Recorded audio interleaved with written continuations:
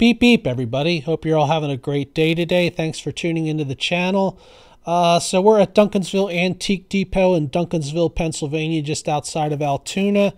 And this is actually stock footage I took of the front of this place back in March. But when we go inside, we'll be looking at the place in early July. It's one of those things when you go on one of these trips, you forget to take footage of the outside sometimes. And to make up for that, uh, thankfully I saved earlier footage. So when you go in, you want to go to the right past the cash register, and there are these three long rows, and the one that's furthest to your right has uh, quite a few display cases that feature all kinds of sports cards. Uh, now, as you can see, there are some, I believe, complete sets of basketball and football, um, plus assorted other kinds of different things there. There are some smaller sets like the rookie traded score set there. There's some starting lineup stuff. And of course, we have um, various sports cards. Uh, we have some vintage baseball in there, plus some basketball. And I apologize for the glare that shows up on the top loaders. Uh, the lighting inside a lot of these places is fluorescent light bulbs, and sometimes it's hard to get a good Good view of it. There's a Robin Yount rookie card there.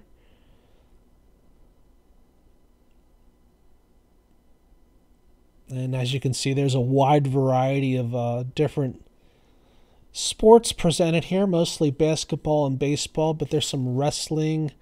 Uh, there's a 1964 Philadelphia football set, which I'm not familiar with. Uh, they're asking $950 for that. And there's some older ones in binders, 75 Topps football set. Uh, some of those old postcards. There's a U Lou Piniella rookie from 1964. There's some comic books. And we're going to scoot right on to the next case.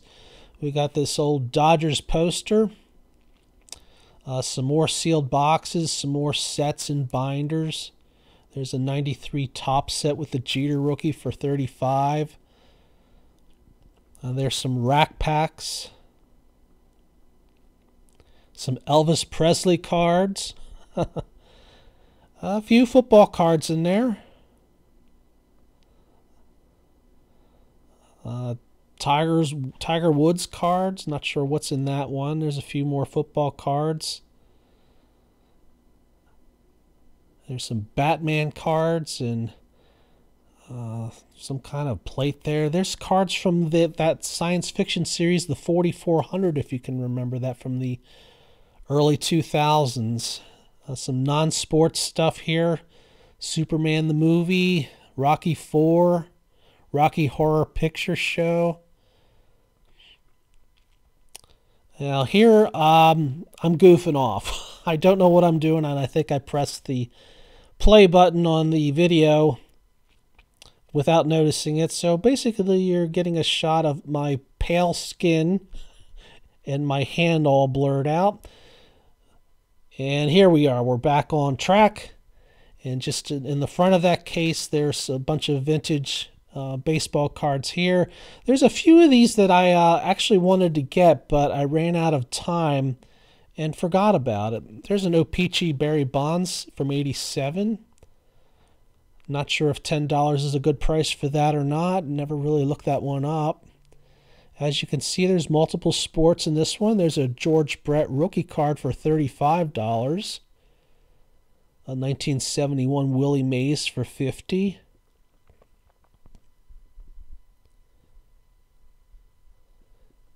And uh, some autograph photos and things and uh, some a Kellogg set back there. Here's a complete 1975 Topps Mini for 875. It was originally 1100.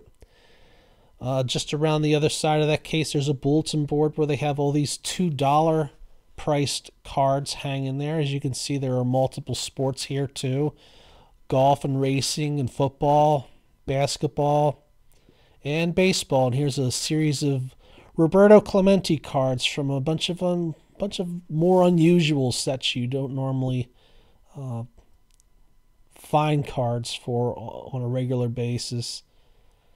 Again, some basketball. Again, I apologize for the glare of the fluorescent lighting off of this. Uh, perhaps I should have slowed down my viewing of it. There's an 84 Fleer Nolan Ryan.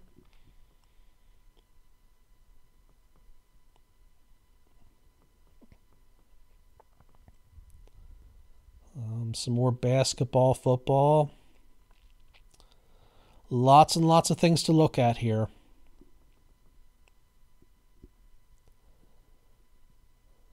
And there's some older stuff. There's a 73 Jim Palmer, an 82 Fleer Rickey Henderson, an 81 Willie Stargell Coca-Cola card.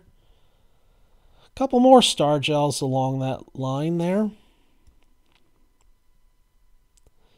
Yeah, and I think I, I think I'm panning a little too fast here, so I apologize for that. Uh, when will I ever learn? I don't know. Some Bo Jackson cards down there, both football and baseball.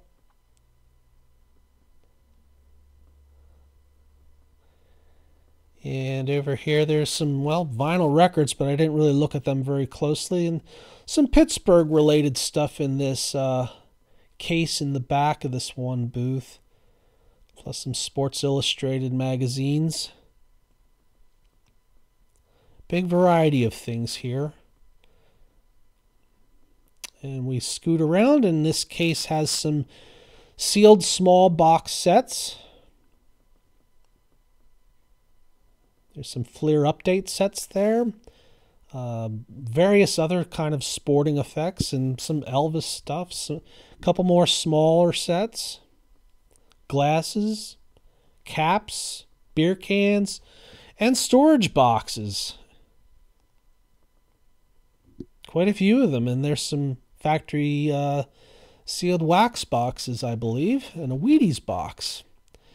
Now, across the aisle from that booth, there's another booth that has all these uh, junk wax um, sets and binders, and they're using old um, IBM three ring binders. You see a 92 leaf, 91 score, and it looks like they're about $13 each. There's a field stream guide to fish freshwater fishing three ring binder that was probably originally used for magazines, but in this case was used for um, baseball cards. So this was almost entirely junk wax here. And nothing really caught my eye there because I pretty much have all of this myself. But if you're looking for it, there you go. Some more smaller uh, sets. Most of them about two bucks each. There's a few various odds and ends there. There's some wax boxes. And a bunch of uh, racing cards and Here's like a bunch of uh, factory sealed um, junk wax complete sets. Uh, I pretty much uh, got all my junk wax from this dealer uh, about a year ago, and he seems to have an ample supply of it. They typically are going between fifteen and twenty-five dollars, maybe I'd say. And on this table, that he has some uh, junk wax boxes. And I think these uh, typically go for around the 15 to $20 price range. I didn't really look very closely at them, so take that with a grain of salt. But I have bought some in the past from here that were about that price. Uh, not far from this booth, we have one of these rotating display cases that has a bunch of singles in them. And this was a new feature I had not seen uh, since my last visit here. And you have some more modern cards up in the top shelves. Uh, they tend to be Pittsburgh related, as you can see there. A bunch of Henry Davis cards. And there's some Roberto Clemente ones, but they they seem to be more modern issues of him. And there's uh, some football cards there on that next one. And down below, we'll see some vintage stuff like a 75 Garvey, uh, 1972 Frank Robinson there. There's a 76 Thurman Munson, uh, three of them in a row. Plus a 73 Lou Brock, Frank Robinson, another Frank Robinson, and a Brooks Robinson from 1970.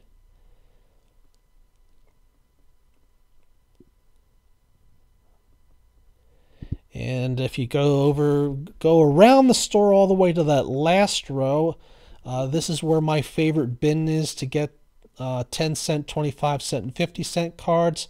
Up on this shelf, he has like a big selection of uh, inserts for cheap prices, but they were mostly multiple sports in those boxes. Uh, several sealed boxes of the smaller sets. You have the Topps traded sets there. Um, he has these large boxes of common cards. You see basketball for five bucks, baseball for five bucks. That whole box, if you're interested in common cards. There's some 2017 Donruss, a whole box for four bucks. There's a couple of them there. And here are the 10 cent bins and the 25 cent bins. And over on the other side, we have some wax boxes and some hand collated complete sets. There's some rack packs there. Uh, some uh, boxes that just feature Phillies cards from the 80s. A few more hand collated sets. And some more giant boxes of baseball card commons. Uh, I couldn't tell you what was in there. they look pretty heavy. You have to check it out sometime. Now, Back up towards the front of the store, we have all a couple rows of cases, and that's where this footage was taken from. Uh, there's an interesting box of Three's Company stickers. uh, you see multiple sports in this one. Uh, racing, football, basketball, uh, and definitely baseball. And there's a Matting, couple Mattingly rookies there. There's a Wade Boggs rookie. Uh, there's some non-sports stuff like MASH and ET.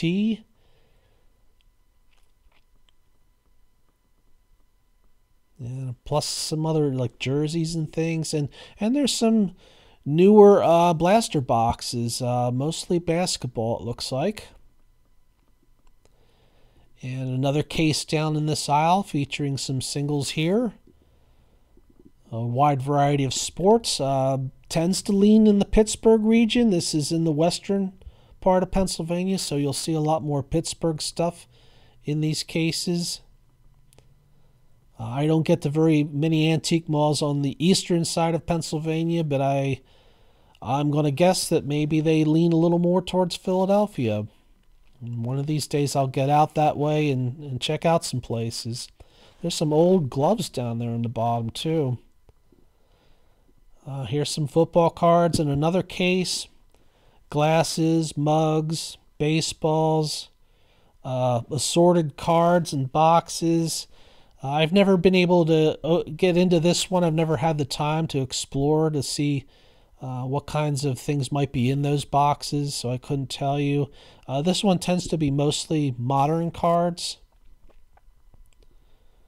And one of these days, I'd like to get in there and, and have a look at that, and maybe maybe I might find something cool in there. Uh, there's some more cards down there below, patches and photos and logos and stuff. This one has a bunch of autographs. There's a Joe DiMaggio autograph there, and a, a Mickey Mantle one. That's $125 for that.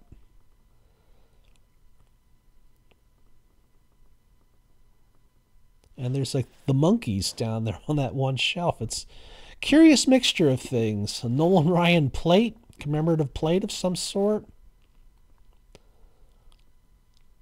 So lots of neat stuff to look at at this place. Here's another one that has some uh, modern uh, blaster and hanger boxes.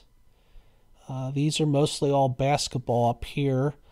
Uh, they have some boxes that are assorted by individual players on teams and uh, some more varieties of sports, including soccer there and uh, Mike Trout cards in that one box. There's a box that just says two dollars and up. Autographed cards, a dollar, dollar fifty. Uh, one of these days, I'd like to get into this one too and have a look at all that stuff uh, that are in the boxes. There's some cards from the 60s and 70s and 80s in that one. that would be an interesting one to check out. Here's a bunch of unopened packs. And this uh, one big case has all these uh, vintage cards in it, and I think I purchased one from here during this trip. Um, condition for this this case, I think, tends to be from good to excellent. Occasionally, there's an excellent mint one, maybe even a near mint one. I'd say prices are close to retail, but sometimes a few of them are a good deal.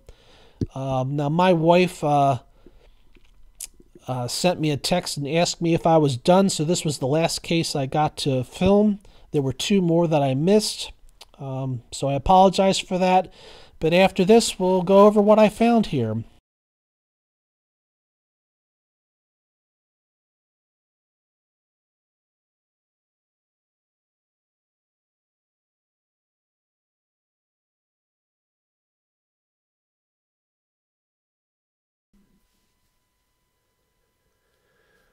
Okay, I hope you enjoyed the tour of Duncansville Antique Depot, which is obviously in Duncansville, Pennsylvania. Um, let's go over the stuff that I got there. We'll start with, um, I guess, boxes first, and then we'll go over the singles. I got this uh, 1988 Fleer Baseball All Stars, um, still sealed, um, pack of 44 cards for $3. I've had a few, bought a few of these from this uh, antique mall in the, well, in the past two years or so. Haven't bought any in a while, and this one I've uh, never seen before. Thought I had a pretty good deal for three bucks. Uh, I may open this up in another video down the road. I'm not sure. If you're interested, uh, let me know in the comments, and I'll consider recording a, an opening of this uh, earlier than some other things. Um, Find a place to put that. Uh, 1988 Fleer update. Um, this was just five bucks. Uh, I already had one of these in the past, um, but when I opened it up, I found that I had corner dings on just about every card, so that made it basically not worth uh, much of anything. So I saw this there, and it's like, well, I need to have a, a new set of these because I'd rather have some undinged cards from this set in my to put my collection in. So I found this for five bucks, and I thought that was seemed like a fair price for that. So I picked that up. Uh, not sure. We might open that up in another video. Um, push Nathan over the side there have a 92 Fleer Ultra complete hand collated set for $8. I have a handful of these in my collection um, from various different things like, uh, I guess, uh, multiple um, like uh, binders that I've purchased uh, off and on, and occasional mystery boxes. Some of these have shown up in, but uh, I didn't have the full set. I didn't feel like opening up with packs because I wasn't going to take the risk that they were going to be all bricked up. And uh, I had a, a little inspection of this inside, and everything seems to be in working order, and the condition of them looks great. So I thought eight bucks was a pretty good price for that. I doubt I could find a price similar to that for it online anywhere, so I grabbed it. Um, this is a curious one. It's an opened box with the top lid cut off, and I guess that's so you could look at it. This is 2017 Donruss. This entire box for four dollars. Um, and before you think that this was just the commons in the set, it's actually a considerable amount more. So we'll just quickly go through just a handful and give you an idea. There's an Ozzie Smith on the old 83 design. Josh Donaldson, Jose Abreu, Miguel Cabrera. Um, there's a black and white uh, uh, short print name variation as well for Daniel Murphy, Eric Hosmer, Kirby Puckett, Salvador Perez, and you have some common cards in here too. There's some duplication. There's a black and white um, variation for Kris Bryant. Uh, that one I hadn't seen. I went through them briefly uh, just before I started filming this, and I pulled out a few highlights that I'll show right after I go through this small amount of them as a sampling. There's Robin Yount on the old 83 design, Nomar Mazara, Trevor Bauer, Kyle Seager, Salvador Perez again. So there is some duplication, but not too bad. Nelson Cruz, Maikel Franco, Jacob DeGrom, Jose Altuve, Goose Gossage, uh, Johnny Cueto, Max Scherzer, Matt Carpenter, Carlos Martinez. Um, so this was kind of a, a, cheap way to get the bulk of the set. Um, what you won't find is like an Aaron Judge card and some of the higher priced ones. I'll have to seek those out on my own as singles down the road if I want to get them. But um, these were some of the highlights that I pulled out of here. There's, I guess you could call this a name variation. It just says ROY for Rookie of the Year, and this is for Corey Seager. And in this box, I also have the one that is the regular base set uh, card. Uh, here's a name variation for Miguel Cabrera. Uh, name variation for Anthony Rizzo. Uh, name variation for Johnny Bench. I had no idea anybody nicknamed him the Little General, but I guess they did. I don't remember that. I only saw Johnny Bench play in the early 80s at the tail end of his career. Um, I'm guessing Sparky Anderson may have given him that name. I don't know. And it says 1968 NL Rookie of the Year up there. Uh, here's a name variation for Nolan Ryan, The Express. A name variation for Ryne Sandberg, Ryno. Uh, here's uh, the Frank Thomas base card, and here's the uh, black and white variation of that card. Uh, these both have the same exact number on them. In fact, I'd, it looks like the black and white one even has a, a different shade of gray on the back. Uh, this is a Josh Donaldson uh, name variation, Bringer of Rain. A Duke Snider name variation, the Duke of Flatbush. A Yoan Moncada rated rookie, and uh, we already saw that card, and a Yoan Moncada in the, the rookies insert set. There are a few other the rookies inserts in this set, but this was probably the the main one that I found there. Like I said, it didn't have like Aaron Judge or any of the other uh, higher priced uh, cards in the set. So I think, you know, four bucks, not a bad way to almost complete a set. So I was happy about that. Uh, let's go over the singles that I bought. Uh, I was in that that uh, bin area that had 10 cent, 25 cent, and 50 cent cards, and I picked up quite a few from there. Uh, Clayton Kershaw here. This is from Topps Gallery. That was only 10 cents. Uh, Jackie Robinson from Topps Gold Label. This is from 2018. This is Class 1, Class 2, and Class 3. On all three of those were a quarter each. Pretty good deal for that, I thought. Ted Williams, this is Class 1, Class 2, and Class 3. Again, 25 cents for each one. Now, I only found Class 1 for Hank Aaron. I picked that one up. They, there were no Class 2 or Class 3 cards available in the bins. So I, I, I thought that was a pretty cool looking card, so I grabbed that. We have uh, 1984 Topps design for Ted Williams from, I think that's 2019. Uh, I think this is from 2019 Topps Update. This was an insert card. Thought that was pretty cool. 25 cents was a good deal for that. Here's another Jackie Robinson card, another 25 cent card. Uh, this is from an insert set called Vintage Legends Collection, and I think that was from 2010 Topps. And um, I'm a big fan of the 81 design. It was like the major big set of my youth. Um, I've mentioned it before on this channel that my brother and I tried to complete that set by buying packs at a local Wawa. Every Saturday morning at 8 o'clock, we were there buying like five or six packs each, and I fell short of completing the set by three cards, which I later acquired uh, quite a few years later and finished up the set. Uh, this is an Upper Deck MVP card from the Batter Up insert set of Joe DiMaggio. This was only a dime and I think this is the most expensive card in that, or one of the most expensive ones in that Batter Up series. I think it goes for quite a bit more than a dime, so I was like, wow, gotta get that. Got an Alex Bregman uh, rated rookie card from uh, 2017 Donruss. Did not have that rookie card in my collection. And also picked up his Topps Chrome rookie card. And the rookies uh, insert set from 2017 Donruss. And that they, these were all 50 cents each.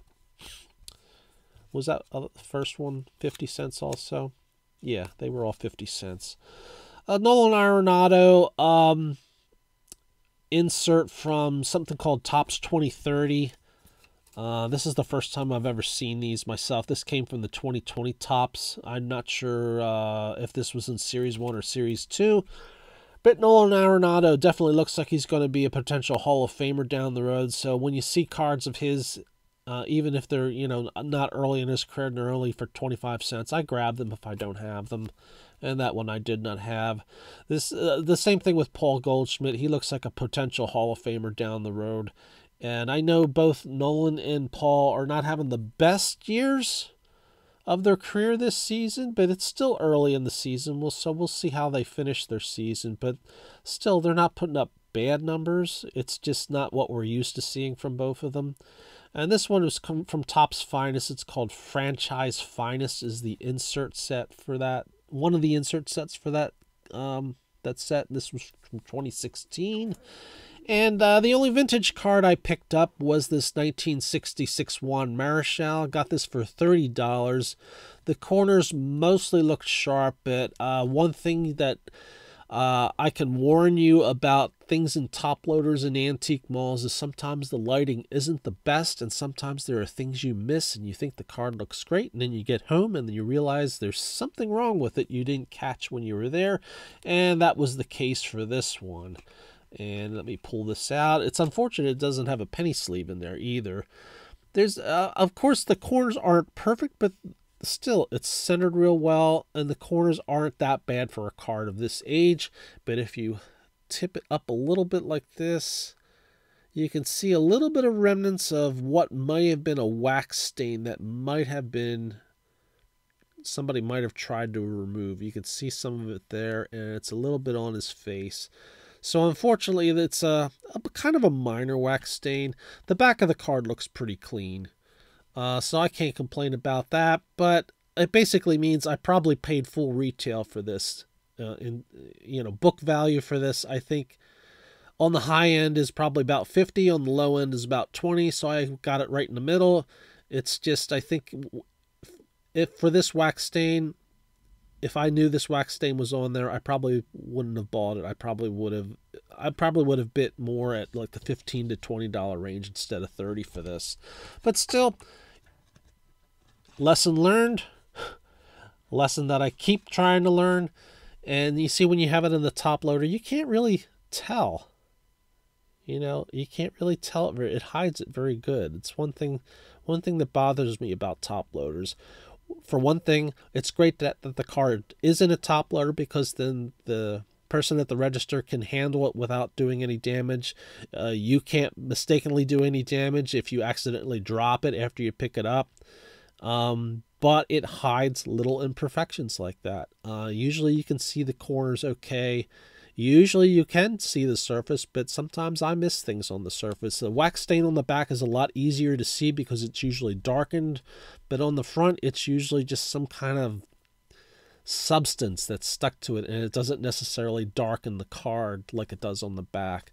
So that was what I got at Duncansville Antique Depot. Um, there were a few more cards I wish I had picked up, but we were in a rush to get out of there.